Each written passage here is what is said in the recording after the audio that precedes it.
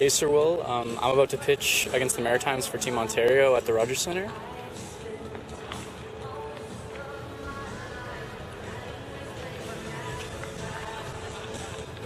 And these are your day one announcements.